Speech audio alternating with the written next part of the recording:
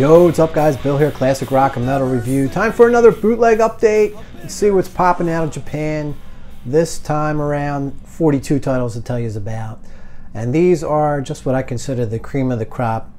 Almost all soundboard quality recordings. That's really all I deal with nowadays. So uh, I'm not against audience stuff. I just don't have a need for it. There's so much soundboard stuff out nowadays.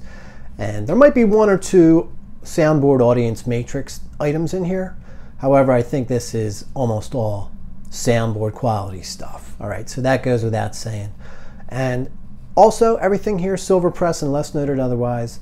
Of course, always check into the specs. I could get something wrong here and there. So, all right, nursing a little head cold. Ah, summer cold, man. They suck. The worst. All right, enough of that bullshit. Yeah, and at the end, show you some of the stuff I've been listening to. Some of these are pickups I don't even think I, I showed you guys that I got yet. I'm trying to refrain from showing you anything until I actually hear it to have a comment on it. You know, just showing you what I got with no commentary is kind of stupid. So let's let's just go with the, uh, and that goes for everything, even basic releases. We do a monthly haul. That'll probably be coming up next. I'm only going to show you stuff I've listened to. I have multiple things I haven't shown you yet, and that's why. So let's get it kicking with the new releases. And here's a great one right off the bat. Rainbow, Osaka, 1976, Soundboard Archives, double CD, Rising Arrows, your label. This is from November 8th and 9th. Now, this one is one of those soundboard audience matrices. Appears to be mostly soundboard, though, best I could gather. Another cool Rainbow title, Atlanta, 1978, reel to reel, direct transfer. This is at the Omni, well known gig from Atlanta, Georgia, June 24th, 1978. 55 minute broadcast, radio broadcast is what you get here. Again, a rising arrow is the label. A couple from Dio. These are also uh, represses as best as I can tell. Definitive Evil, it's two CDRs on Shades. We're at La Zenith in Paris, France, November 27, 1987, the Dream Evil Tour. Another Shades title from Dio. Atlanta 1990, Westwood One broadcast. A single CDR in that guy from the Civic Center in Atlanta from October 2nd of 1990. Here's an interesting title, Metallica and Megadeth, called Zwolle Collection Aardschok Festival. Another Shades title. We're at the Netherlands, February 8th, 1987, and then May 29th, 1988. You get the Metallica show from 87, 62 minutes on disc one, and 34 minutes of Megadeth's show from 1988 at this Aardschok Festival, Zwolle, Netherlands. Two CDRs with that guy, but pretty cool title. Soundboards. Robert Plant, Moonlight in Texas, two CDRs, Trials Your Label, Disc 1, Austin, Texas, September 21st of 83. Disc 2, the continuation of that Austin show from 83, and then six songs from Houston from June 22nd of 85. So pretty cool plant solo title there.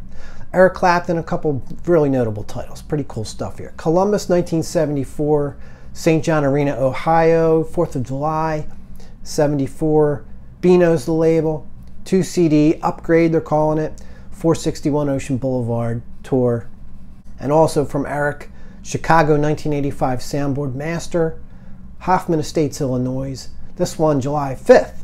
An upgrade, two CDs, also on Beano. Now this month actually features a lot of sort of represses, all right? They've been out before just being put out again. Second press, third press, what have you. Some of them upgrades.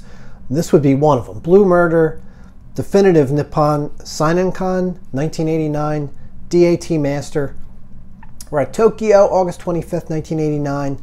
This one, this version remastered by Graf Zeppelin. Two CDs on Zodiac, so Silver Press, of course. Uh, the original trio here of Sykes, Carmine Appice, and Tony Franklin on bass. I happen to have the original of this, which I only got not too long ago. And I think I've only heard it once. I might have started into it a second time. I need to get back to it. I wasn't loving the sound quality of it uh, in my car and I think it was better in my house, but I didn't get too far into that second lesson. So I, did, I need to get back to this. I wasn't too impressed with what I was looking forward to, were there, you know, songs from their old bands, Still the Night, and uh, Purple Haze, I guess, Hot Legs. Was really looking forward to those songs, and they they were they were okay, but it wasn't what I was hoping for, I guess. So uh, I'm not giving up on it. I just need to get back to it. So this new Graf Zeppelin remaster, I'm sure, is going to be good. Uh, Hendrix title, the unreleased Electric Ladyland Studio sessions from 1970, fourth album of Jimmy's. These are sessions from June to August of 1970, and no label on this one. It's three CDs. Good one there for Hendrix fans. Three titles from Sabbath already talked about and showed you the Forbidden Rough Mix featuring Tony Martin.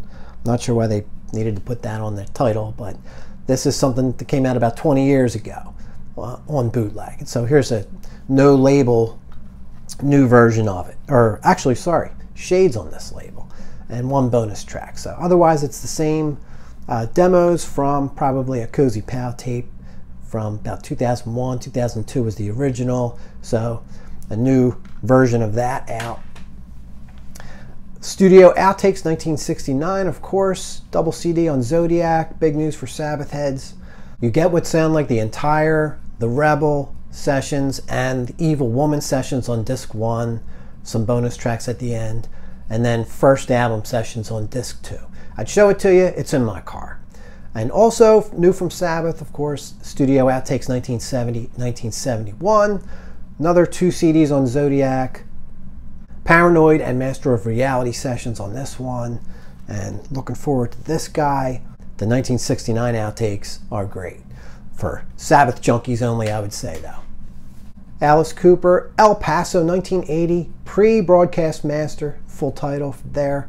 Texas, June 4th, 1980 on Shades. It's two CDRs, 111 minutes, and six pretty tasty looking bonus tracks on that. Aerosmith Saratoga Springs 2001 soundboard. We're at the Performing Arts Center, Saratoga Springs, New York, June 8th, 2001. Again, Shades here for two CDRs. This, another soundboard audience matrix on this one. Kiss, we got three titles here and one coming up later. Complete Destroyer Sessions 1975 1976. Considered an upgrade on Zodiac single CD on that one. Fort Worth 1977 soundboard, two CDs on Zodiac. I haven't seen the words upgrade for this one specifically, but they did put this out before. I do have the original version of that too. And a uh, pretty good show. Sound, you know, can be your standard sort of bootleg sound where drums are kind of flat and dry overall sound not awesome, but totally, totally listenable. That is from Tarrant County Convention Center. It's the entire September 5th show from 77 and parts, basically it sounds like the end of the September 4th show as sort of your bonus tracks at the end of disc two. Crazy Nights demos and outtakes 1987, also on Zodiac from Kiss, single CD, 15 tracks, you get five Paul Stanley publishing tape songs from 1988 as bonus tracks on that guy. Here's a great looking one from Genesis. West Palm Beach 1975 soundboard. January 10th of 75, so early into 75. Convention Hall in Florida. Virtuoso's the label. Double CD, Lamb Lies Down on Broadway tour. That looks like a killer. Queen, another upgrade for Houston 1977 soundboard. This one from Wardour's two CDs. We're at the Summit, December 11th of 77. A couple from Ozzy. I already told you about this on the Sabbath update, but a new press, second press of Definitive Tribute on Zodiac. Two CDs. You get the popular, well-known Cleveland show from May 11th of 81 on disc 1. Disc 2, Montreal from July 28th of 81. And a lot of these copies out there have a bonus option, six string God DVD. Covers Randy, I think 78 to 81. So that's a great one. Another repress, another second press. Ozzy Us Festival 83, the complete soundboard, single CD, and Zodiac again. This is from May 29th of 1983 in San Bernardino, California. Bonus DVD-R of the same show.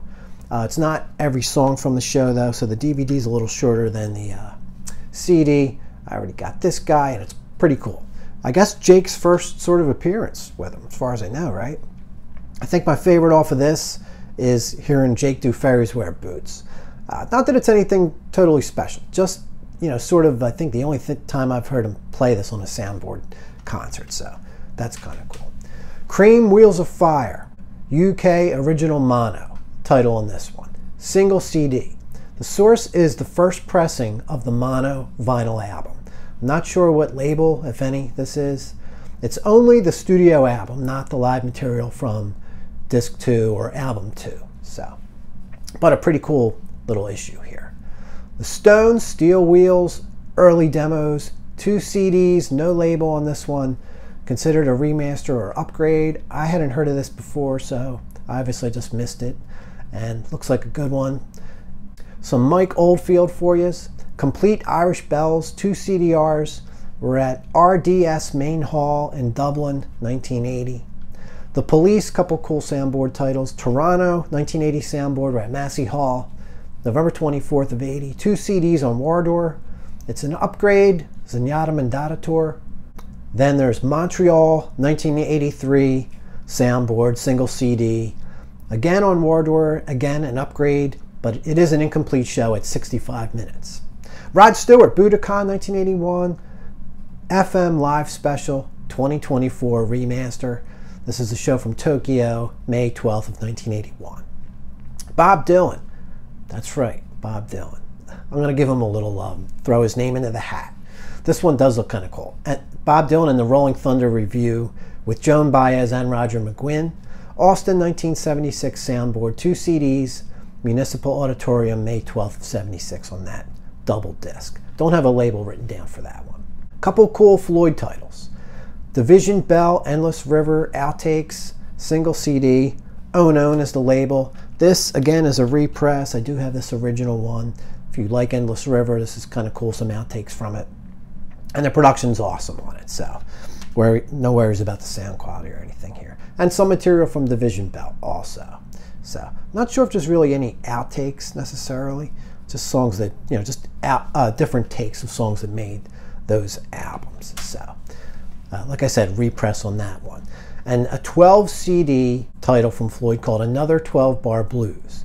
The best audience and some soundboard shows from six different shows in 1970 late summer fall tour only pressing 300 of those. If you're interested grab that one fast. And don't have a label for that one either. The stones again another one of these huge sets. This one is 17 disc set, all audience though, and very good to excellent is what they claim on the sound. 40 licks US Canada Tour 2002, arena and stadium shows, another one limited to 300 copies only. Roxy Music Glasgow 2001 FM broadcast from June 14th, 2001. Virtuoso's your label. It's another upgrade we're in Scotland. There's a bonus CDR option of the BBC version of the broadcast from a rebroadcast in 2024. And there are four songs that aren't on the main show. So the bonus CDR sounds like a good option to get. Purple, another repress, a second press of their California Jam reel to reel soundboard, two CDs on Darker Than Blue, and it's from, of course, their Cal Jam appearance, April 6th of 74. I still got this guy to get into. I listened to a little bit of it. Man, I've had this for like over a year. I don't know why I haven't played this more yet. I, I dipped into it and actually put the cellophane back on it to kind of flag it so I could stand that on the shelf to remind my ass to get that on. So, Daryl Hall and John Oates, Saratoga 1977. Two CDRs, Saratoga Performing Arts Center, Trials the label. It's from June 18th of 77. Another Wings title. Band on the Run Geoff Emerick tapes, newly discovered rough mix tapes from the master reel. Two CDs on Merseyside, alternate mixes, and some of the isolated sound effects used for the album. That other Kiss title I was telling you about, here we go. Monsters of Rock, 1988 Donington. Collector's Edition, it's called. Two CDRs and one DVD-R. Mostly audience, except for disc one, that's from an FM broadcast, August 20th, 1988. 40 minutes that guy is. Disc 2 is the complete show, audience source. DVD, complete show, audience source again.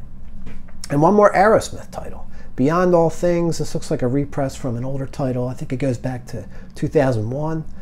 Bondage Music, Orlando, Florida, June 14th, 2001. George Harrison, All Things Must Pass Sessions 2.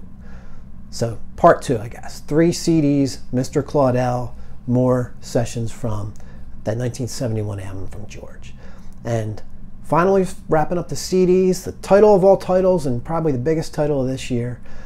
The Who, Live at Leeds Multi Track Master, two CDs, University of Leeds, February 14th, 70, complete and uncut, restored running order, restored between song chatter, and supposedly a somewhat of a slight upgrade on the sound, although that's debatable talking to different people about it.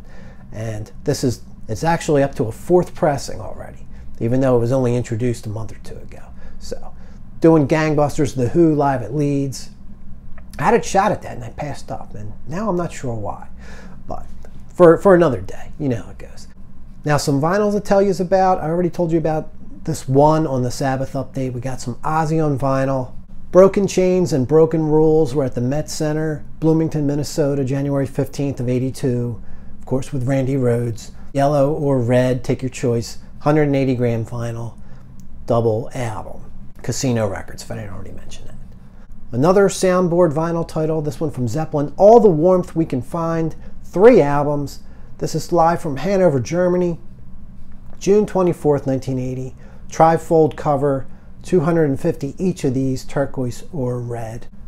All right, so there's your 42 bootleg titles for the past month, month and a half since the last update. Out of Japan, two vinyl there at the end, 40 CDs before that, 40 titles, I should say. So, all right, so it's just some stuff I've been listening to the last few weeks. I don't think I've done an update like this for about six weeks, so going back that far, maybe even a little further. But some of these I haven't shown you at all yet in the first place. Kind of refraining from showing you new things until I have had it had a chance to digest it, give you a little bit of an opinion and some feedback on it. So, the Moody Blues live at the Spectrum, 1970. Got this a few months ago. Laid around a little bit. Got to listen to it finally. Uh, sound quality on this kind of stinks. It's soundboard, and it does sound soundboard, just really sort of distant sound. I'll say fair, you know, at best on this. You're going to be tinkering with your treble bass, your equalizer to listen to this guy. And it sounds like a decent enough show. All right, 1970, pretty pretty much kind of like a high water mark in a way for them. And uh, it starts out with Gypsy. There's some really good performances on here, but it's all just sort of marred by this, like I said, average at best sound. But Moody Blues live at the Spectrum, I'll give it another spin. It's not garbage, but it's one of the worst sounding soundboards you know you can probably possibly get. But try to change it up every now and then from all the metal and hard rock. And here's some classic rock from 74. Foghat, Boogie Outlaws. I think we're in New Haven, Connecticut, 1974. Stereo soundboard recording on trial and not a real long show. I don't know if it's ran 50 minutes or so, like something like that. So, uh, but a good one, just what you'd expect from Foghat at this point. Your pre you know, Fool for the City. So you got some older stuff. Eight Days on the Road, probably my favorite on there, and definitely delivers live. Some Foghat, and came with a bonus DVD of them on Don Kirshner's rock concert, which I haven't got a chance to, to watch yet, but that should be good stuff. That's also from 74. Some Allmans, I got around to listening to one of the huge lot of things that I bought a couple months back. I did a whole separate episode on it and got a nice juicy Ozzy Sabbath lot from eBay. I'll be showing you soon enough. But uh, this one was from Raleigh, North Carolina, and really looked like the most unimpressive artwork. This is a 1994 CD from Italy, bootleg CD, obviously. And like I said, the artwork and everything about it just looked so sort of bare bones and you know kind of cheap. But the sound quality on this is the best of all those CDs I got, even better than the Instant Lives and such.